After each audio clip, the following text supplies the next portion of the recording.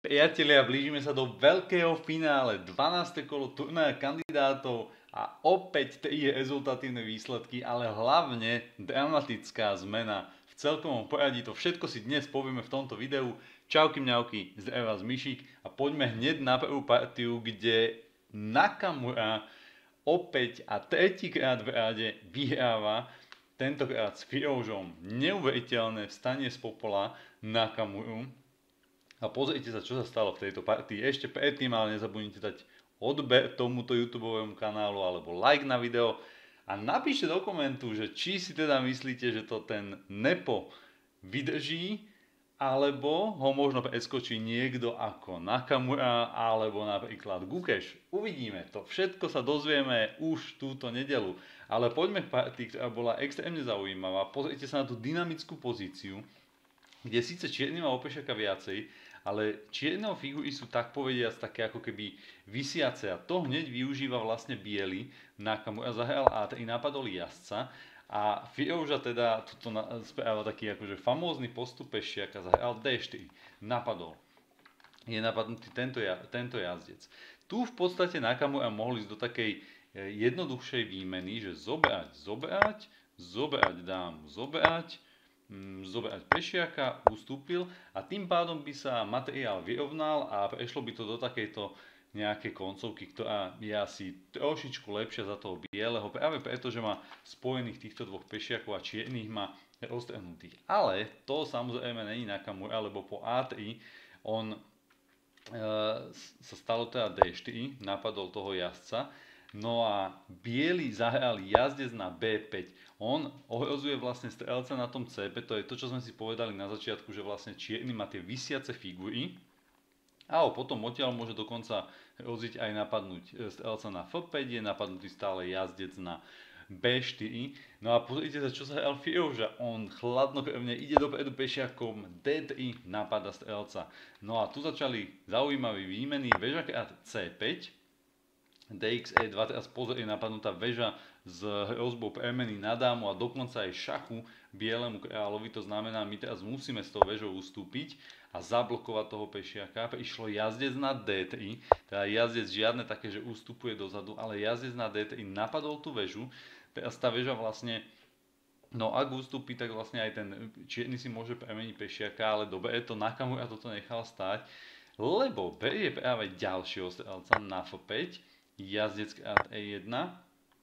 a jazdec krát E1. Jazdec je inak najlepšia blokujúca figura pešiakov. No a tuto vlastne dlho, dlho oni budú hrať s takýmto zaujímavým pešiakom práve na E2 a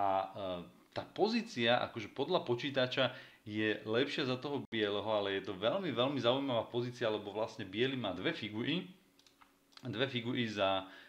za väžu. No a partia teda pokračovala pomerne dlho, ja to teraz trošičku preskočím a dostanem sa k tomu k takému zaujímavému, zaujímavému bodu. A to bolo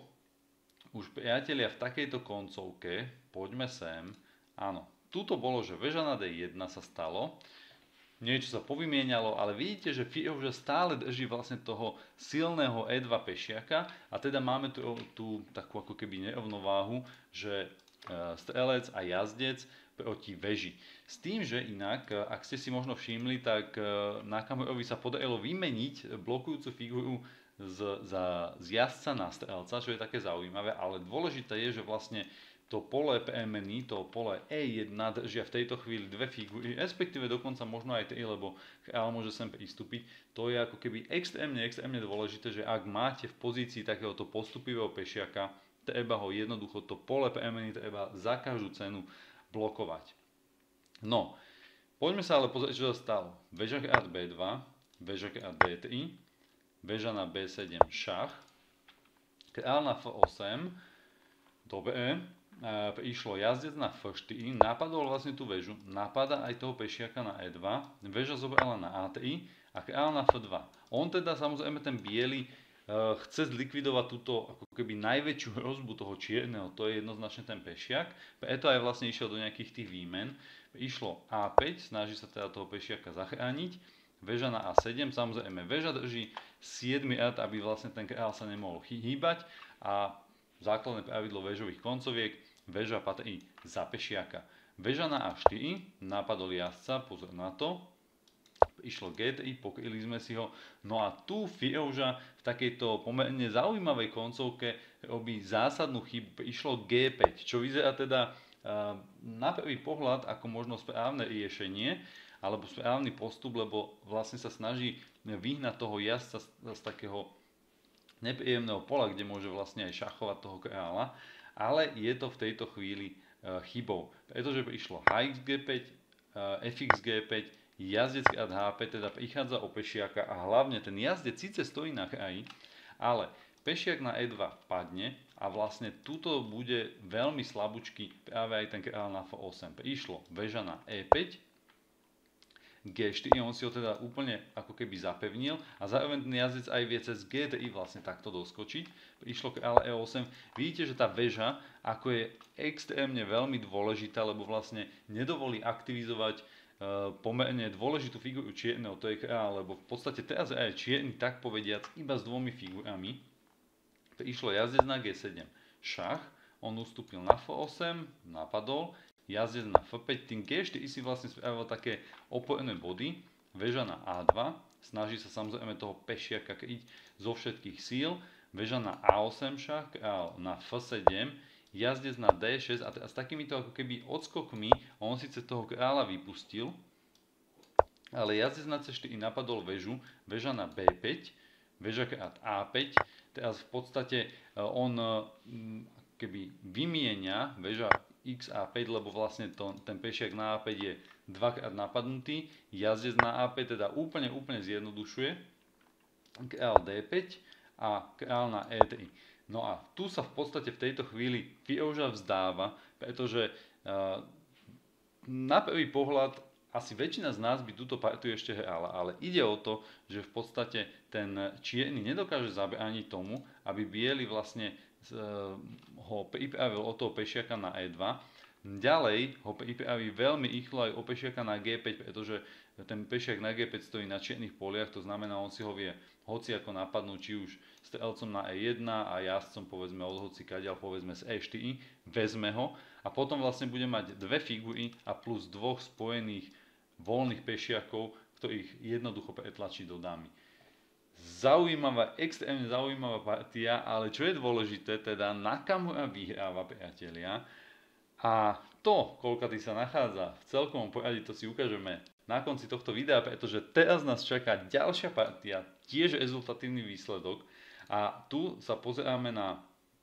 partiu Gukeš Abašov. Abašov vieme, že teda čaká na svoju prvú výhru v celom turnaji. On teda je outsiderom, a bohužiaľ, zrovna teda ku koncu turnaja sa, sa mu to bude asi dať stále čím menej, tým menej, pretože naozaj všetci tí potenciálni favorite na postup alebo výhru to, v tomto turnaji kandidátov budú práve s ním sa snažiť vyhrať, pretože sú aj elovo, aj celkovo skúsenosťami oveľa, oveľa ďalej. No a dostali sa s Gukešom do takejto zaujímavej koncovky. A opäť sme teda v koncovke, ktorá Eh, je trošku lepšie pre toho čierneho, ale stále sa dá ako keby hrať. No ale tu by išlo na možno také menej presne by som to nazval strelec E3, ale takto, že aby ste ma chápali, že veľmi ťažko niečo tomu Abašovovi vyčítať, lebo toto je jednoducho nie ako keby ľahká pozícia. Ide tu z celej koncovke vlastne o to, že Čierny má uh, krytého voľného pešiaka, alebo krytého, ten pešiak je krytý so strelcom, ale je to vzdialený krajný pešiak, na A5 a ten biely sa ho vlastne musí za každú cenu snažiť opäť nejakým spôsobom blokovať. V podstate niečo podobné ako v tej partii s Nakamurom, len tu je ten pešiak teda na inom stĺpci a ešte pomerne ďalej, ale v tej koncovke čím ubúda ako keby figur, tak tým e, takíto pešiaci e, nadobúdajú na väčšej a väčšej síle. No a pozrite sa, išlo väža na D3, opäť, väža patrí jednoducho za pešiakov, toto je jeho Veľmi jednoduchý plán e, čierneho, teda Gukeša, král na E2, napadol väžu, väža na C3, napadol pešiaka, no a on zahral teda C5. Po C5 si aktivizuje ďalšieho, teda ďalšiu figuru, jazdca napadol aj tohto pešiaka, e, toho strelca, napadnutý aj pešiak na C5, prišlo väža na C2, snaží sa to Abašov nejakým spôsobom ako keby zjednodušiť a verí, že vlastne ten král, keď sa e, nejakým spôsobom dostane povedzme na C, B slopec, tak vlastne bude chytať tých pešiakov a vyriešiť tieto problémy. Gukeš vymieňa väžu, išlo A4, hneď teda ide, ide ako keby dopredu a biely zahral KL na DTI. Tu si treba povedať, že, že prečo vlastne nebral toho, toho pešiaka, veď vlastne vyzerá, že je zadarmo. No, nemôže ho brať, lebo práve ten jazdec dáva vlastne takýto šach. To znamená, ten pešiak alebo vidličku, ten pešiak je nepriamo krytý a to je práve tá jeho e, taká dynamická veľká sila, že vlastne on teraz postúpil hneď vlastne môže postupovať na A3, lebo je krytý so strelcom a už mu vlastne chýbajú iba, ja to dám inou farbou, dve polia e, na PMN. No a to sú vlastne hneď tie komplikácie, ktoré vám, alebo v tomto prípade Abašovi ako bielemu začínajú. Preto král na D3, išlo A3, teda hneď postupujeme ďalej. LS na B3 snaží sa teda zastaviť ten postup toho pešiaka, no a král na G6. E, tu sa vlastne deje to, že čierny má veľkú hrozbu vlastne toho Ačkového pešiaka a potrebuje vytvoriť ešte ďalšiu hrozbu, lebo teraz ten biely v podstate dokáže toho pešiaka možno zablokovať strelcom alebo prípadne ešte si to podchytiť tým kráľom, ale nestíha kryť aj to dámske krídlo, aj to kráľovské. A plán čierno je vlastne jednoducho prejsť, e, prejsť takto nejak napríklad e, na kráľovské krídlo a poberať vlastne pešiakov na F2 na GTI a tu máme ďalšieho voľného, potenciálneho, vzdialeného, na ďalšom krídle. No a keď vlastne ten biely bude mať všetky sily na tom dámskom, tak premiesnica naspäť na kráľovské krídlo bude extrémne náročné a dlhé a v podstate je to taká úloha až možno nezvládnutelná. Zahral ste LS na D4, vidíte, že, že vlastne jednak teda centralizuje toho strelca, ale hlavne podchytáva vlastne tie e, polia postupu alebo možného premenu toho pešiaka. No a tu už vidíme realizáciu plánu toho čierneho kráľa na G5, kráľa na C4, strelec na hop, strelec na E1, e nápadol pešiaka, kráľ na D3, kráľ G4, teda ten čierny sa snaží vlastne sa sem nejakým spôsobom nanominovať, LS na D1, potrebuje ho odtiaľ vytlačiť, šach kráľ G5. Už teraz je to iba taká vlastne ako keby tempovač, tempovačka, že, že potrebuje nájsť ten správny moment, kedy mu povedzme ten biely nebude schopný dať šach, LS na D1, A2, využíva teda, že LS nie je na B3 a postupuje pešiakom a teda potrebuje alebo viaže na, na seba nejaké figúry. Prišlo F3, šach kráľ na F5, strelec na C2, kráľ na G5, dobre, už vlastne aj tento pešiak je vlastne teraz oslabený, no a prišlo ešte strelec na B3, áno, on ho síce vezme, ale fx, e, teda strelec krát G3, strelec krát A2 a podarilo sa bielemu vlastne zlikvidovať toho veľmi, veľmi postupivého krajného pešiaka na tom dánskom krídle. No a teraz vlastne posledný ťah bol H5 a biely sa vzdáva. Je to vlastne krásna ukážka koncovky na tému vlastne vytvorenia dvoch slabín alebo dvoch rozieb súperovi a síce jednu vyriešite, ale druhú nevyriešite a tu je to úplne tematicky, ilustračne vidno, ako vlastne ten čierny hraje najprv na silného voľného pešiaka na A stĺpci. Bielý síce tu zmobilizoval svojich dvoch strelcov, ešte aj kráľa tam dal, ale medzi časom si Čierny teda spravil ako keby druhú hrozbu a to bol práve tento pešiak na háčkovom stĺpci, no a tie figúry z toho dánskeho krídla nie sú schopné vlastne už sa premiesniť na to kráľovské krídlo, aby zabránili postupu toho, e, toho háčkového pešiaka. No a Abašov sa vzdáva, Gukeš vyhráva a my ideme hneď na tretiu rezultatívnu partiu. V tretej partii vyhráva Fabiano Caruana z indickým talentom, super talentom Viditom. A opäť teda Američania tuto naozaj že zabrali v poslednej, poslednej chvíli, tak ako sme hovorili, že Fabi je s jedným z potenciálnym, potenciálnym výťazom vlastne tohto turnaja kandidátov, tak e, stále tieto šance si uchováva, ale to hneď po skončení tejto partie si pozrieme práve tú tabulku a priebežné poradie. No a dostali sa do e, pozície, ktorá je samozrejme lepšia, samozrejme, je ako keby lepšia za bieleho, ale v tom zmysle, že ten čierny vlastne je tu taký veľmi, veľmi stiesnený. Bielý, uh, bielý má príjemnú hru, proste má obsadený priestor. Toto je ako keby dôležité, že, že prečo vlastne túto počítač tomu ukazuje, neviem, plus 0,8. Bielý má jednoducho stĺpec, áno, aj čierny má stĺpec, lenže predsa len ten biely vlastne tlačí na stĺpec, kde sa nachádza biely, e, teda čierny kreál. E, biely má, má oveľa lepšieho ako keby strelca, tento čierny strelec vlastne sa nevie nikam pohnúť, takisto jazdec môže, môže robiť rôzne typy ako keby odskokov, E, potenciálne niekedy v budúcnosti, kam bude potrebovať a hlavne teda má takú veľkú priestorovú prevahu. No a toto ten Fabiano, on to vie akože excelentne zúžitkovať. No a v ťažkých situáciách prichádzajú samozrejme aj chyby a vidí teraz zahral väža na C5, čo hneď sa stáva ako keby objektom útoku toho, toho bieleho. Proste e, Fabi hneď zahral väža na E5 a napáda toho, e, toho pešiaka. Uh, on teda sa rozhodol, že ho nebude, uh, že ho nebude priamo ako keby kryť, ale zahral jazdec na C6 a snaží sa vlastne obsadiť nejaké možno voľné polia alebo nejak sa ako keby zaktivizovať, napadnúť pešiaka na A5, ale prichádza väža D5, teraz pozor, je napadnutá dáma, väžu nejde vyhodiť, pretože vlastne máme tu väzbu na toho kráľa, takže také ako keby tempo, väža na C7, toto je inak veľmi nádherný ukáž, ukážkový ako keby ťah, že, že nevyhodím hneď automaticky, ale vložím si ešte tempo, aby som zhoršil postavenie superových figur, alebo teda konkrétne dámy, ona teda ustúpila na C7 a až potom vyhodím beža, beža a C5. E, prišlo väža na E7, on teda potrebuje z tejto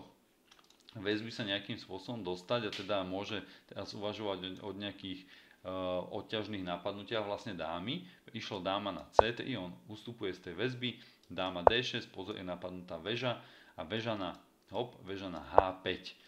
Takto teda partia pokračovala napriek tomu, že biely má opešiaka viacej, čiernemu sa podarilo trošku ako keby skonsolidovať tú svoju pozíciu, išlo F6, teraz tá väža vlastne tu eh, je taká ako keby na vrátkej plošine, pretože nemá veľa polí, kam by sa mohla mohla pohnúť v podstate G5, E5, D5, F5,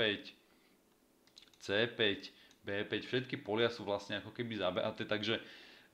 zrazu tej veži chýba priestor a ten biely sa to snaží vyriešiť, dáva šach, šach si dáš dobre hráš, išlo kráľ na G8, teda kráľ na D8, pardon, dáma na E3,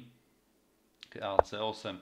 Uh, vidíme, že ten Vidit vlastne s tým kráľom teda sa rozhodol ísť na to dámske krídlo a tu hľadať útočisko a hlavne teda sa možno aj chystá na tú koncovku, že ak by náhodou sa všetko vymenilo, tak tu sú vlastne tí TA pešiaci proti dvom, takže aby tu mal nachystaného svojho kráľa. Išlo dáma na B6, ale Fabi vlastne pokračuje v útoku a naozaj on dokáže extrémne krásne z takýchto uh, strategických jemnôstok doslova vydolovať úplne, úplne maximum. Pozrite sa na to, išlo kráľ na B8 a už ide väža na C5, hneď teda ju aktivizuje z toho blbého pola H5, teraz je vlastne krytá.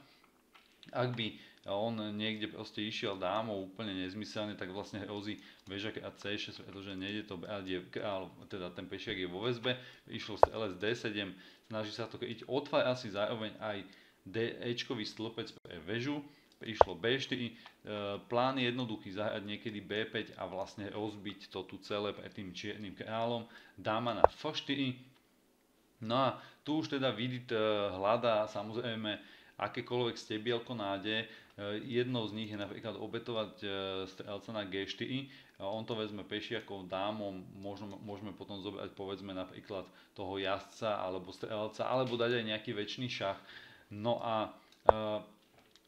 tu zahral Fabi z LS na F5. Počítač nám ukazuje, ako keby to bol dvojotáznikový ťah, ale treba sa na to pozrieť z veľmi praktického hľadiska. Toto je doslova, že taký, že ľudský ťah, ten biely si stále ponecháva veľkú, veľkú výhodu, ktorú Fabi e, o nej vedel a mu pohodlne stačila k tomu, aby tú partiu vyhral. Počítač tu totiž to navrhuje miesto z LS a F5, zahrať také úplne že príjazné, že, že B5 a nevšímať si nejakých obetí ako strelecké a G4 a, a on proste teda samozrejme nie zobrať, ale zahrať také niečo, že jazdec na G1, pokryť si to, vlastne sa tu schovať. No a keby prišlo AXB5, CXB5, jazdec na A7 napríklad, tak dáma D, hop, dáma D8 šach, takáto nejaká kooperatívna varianta tu e, môže, môže byť. Hajs G4, dáma krát G4, král F1, povedzme väža na E, áno, väža na E1 napríklad šach, vezme dáma na B4, no a v tejto chvíli, ja neviem, uhne,